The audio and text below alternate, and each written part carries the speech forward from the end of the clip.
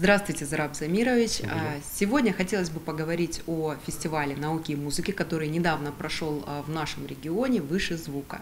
А, это мероприятие уже практически считать можно традиционным, оно проходит в третий раз. Хотелось бы узнать у вас, как у руководителя ведомства, как вы оцениваете успешность, скажем так, пройденного мероприятия? Очень радостно, что в нашей республике появляются такие традиции, такие традиционные фестивали, которые мы, я уверен, со временем сможем сравнивать с крупнейшими в мире такими фестивалями, которые проходят как раз в туристических кластерах. Лучший тому пример уже 40 лет действующий подобный фестиваль в Швейцарии, который уже приобрел даже не одно поколение своих э, любителей, последователей и собирает из года в год уже тысячами туристов.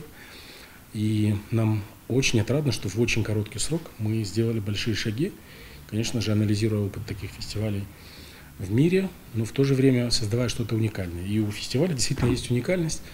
Как вы правильно отметили, этот фестиваль прежде всего музыки и науки. Таких фестивалей вообще в мире не существует. И такая специфика выбрана была не случайно, потому что само место, где он проходит, в основном проходят его мероприятия, навевает, естественно, мысль о том, что наука, она рядом, она уникальна, она очень интересна. Ну а музыка, как э, некий фон, наряду с прекрасными горами, задают как раз настроение всему происходящему. В этом году фестиваль значительно вырос. Вырос он и по программе. Практически неделю проходили все его мероприятия. Открытие и закрытие произошло у нас в Черкеске, в нашем амфитеатре в парке Зеленый остров. Но четыре дня внутри фестиваля проходили мероприятия в нашей курортной зоне. Причем в этом году не только Архыз, не только поселок Буково, не только э, обсерватория, не только наш комплекс аланских храмов стал местом проведения фестиваля, но и были выезды участников и гостей фестиваля в Карачаевск, где прошел тоже концерт. Были экскурсии на шанинские храмы, и экскурсии не простые, а именно с экскурсоводом, специалистом по истории нашей республики. И, что очень важно, отлично прошел концерт открытия и концерт закрытия. В этом году мы включили в программу фестиваля творческую резиденцию. Такой формат для нас угу. это некий эксперимент. Он подразумевает, что к нам, в нашу республику, для того, чтобы создать что-то новое, опираясь на наше культурное наследие и на современные какие-то тенденции в развитии музыки, хореографии, приехали мастера из других регионов. Это, это действительно большие молодцы, ребята, которые сами закончили ведущие вузы творческие из Москвы, Санкт-Петербурга, Казани, Улан-Удэ, в Республике Дагестан. Это хореографы, это композиторы, это музыканты, которые играют на классических и на национальных инструментах. Все они приехали сперва к нам на разведку больше месяца назад, чтобы познакомиться с Карачаево-Черкесией, погрузиться в культуру наших народов. Затем они начали придумывать, что из впитанного ими можно переработать в какое-то новое произведение. И уже во время пребывания здесь, в рамках фестиваля, они очень много репетировали с нашими артистами, хореографами, э, музыкантами, оркестром, национальным ансамблем. И в итоге концерт закрытия, который прошел 11 числа в Архизе, а 12 числа в Черкесском амфитеатре, он был как раз подведением итогов работы творческой лаборатории. То есть целый концерт из новых номеров, которых раньше не существовало, которые были созданы, записаны, поставлены, отрепетированы меньше, чем за месяц. И для нас это действительно очень важный опыт, потому что наши ребята, наши мастера, наши руководители коллективов увидели, что действительно нам есть чему учиться. Действительно сейчас в творчестве есть новые подходы, которые позволяют в такие короткие сроки создавать что-то новое.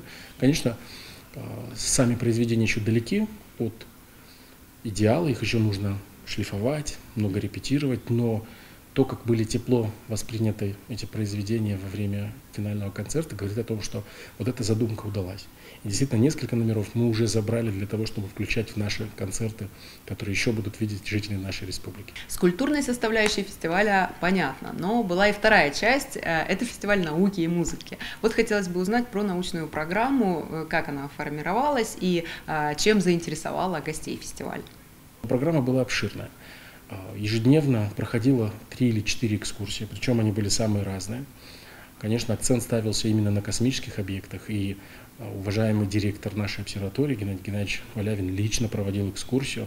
Это один из ведущих специалистов в астрофизике в мире, поэтому, естественно, услышать от него о том, что происходит в космосе, это уникально уже само по себе.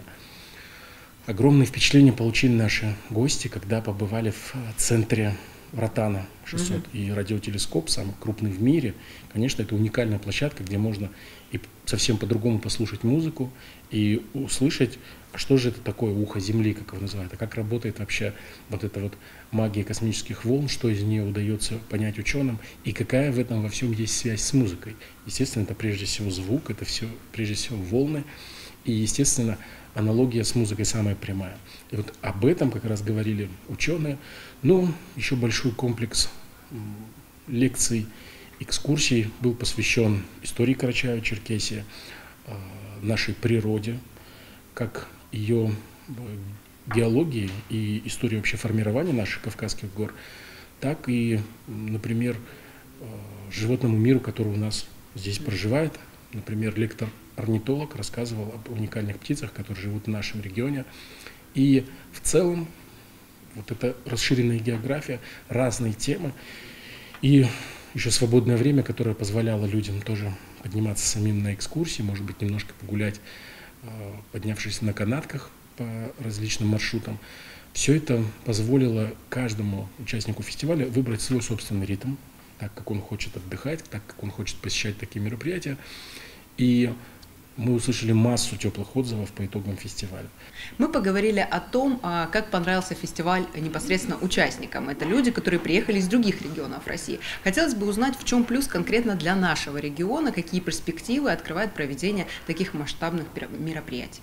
Для нас, конечно, это прежде всего большой опыт вообще создания таких фестивалей, потому что мы много говорим о том, что мы туристический регион, что нам важно, чтобы гости к нам приезжали не только на лыжах кататься, не только смотреть красивые горы и есть вкусную еду, но чтобы они приезжали еще за тем, чтобы познакомиться с нами, с народами, живущими здесь, узнать нашу культуру, наше наследие и, конечно же, это будет все способствовать тому, что будут уходить стереотипы, с большим уважением будут относиться к нам, народам России, живущим в Карачаево-Черкесии, другие народы. Потому что, несмотря на то, что мы живем в информационный век, все-таки мы видим, что очень мало действительно каких-то наших ценностей, самого дорогого для нас, знают наши даже соседи зачастую на Кавказе, не говоря уже о жителях там, Центральной России или Восточной ее части. Поэтому мы учимся сейчас создавать такие мероприятия. И у нас их уже становится больше, мы это делаем уверенней. Команда выходит на такой уровень, который без особых сложностей получает федеральную поддержку. То есть проект этот реализован частично на средства федерального гранта.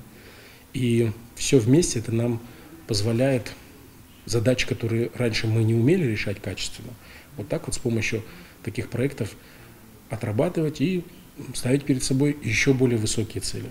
И, повторюсь, три года для такого фестиваля – это совсем-совсем еще малый срок, но уже очень много сделано. А, особо важно было, что на фестиваль обратили внимание руководители управляющей компании, которая сейчас управляет а, курортом Архыз, и он как раз становится одним из ключевых мероприятий для них в том числе. И вот эта вот а, событийность, то есть туризм, который будет привлекать сюда гостей не только чтобы покататься зимой, а вообще погоду распределять, вот этот поток, он во многом и должен строиться на таких событиях. И здесь у нас очень хорошие наработки. И могу сказать, что команда наша, которая в Карачаево-Черкесии это организовывала, а это и команда Министерства культуры, и команда Школы креативных индустрий, а, уже получает опыт, который действительно нам позволяет спокойно придумать еще более сложные, еще более интересные проекты. Это отличная школа. Ну и, конечно, а, именно музыкальная часть для наших музыкантов, живущих в Карачаево-Черкесии, конечно, была очень важна, потому что а, когда перед зрителями выступали артисты, в том числе из а, Кремлевского оркестра или из оркестра Спивакова, или солисты оперы Геликон опера, а это Народная артистская республика Абхазия, Алиса Гицба, например, приехала и со своими учениками, победителями конкурса, который она проводит уже не первый год, исполняла арии, всемирно известные, именно на уровне, который, ну, могу сказать, что лучшие сцены мира оперных театров, вот такой уровень видели. Сейчас можно сказать, что его видели ли наши горы. Мы будем рады пригласить всех зрителей вашего телеканала на наши ближайшие мероприятия. Например, 29 августа в Красногорске на нашей башне откроется уникальный, первый в нашей истории историко-реконструкторский фестиваль, где мы воссоздадим эпоху 19 века. А наши учреждения культуры готовятся к открытию нового сезона в сентябре, поэтому приглашаем всех следить за афишей и обязательно посещать новые премьерные мероприятия.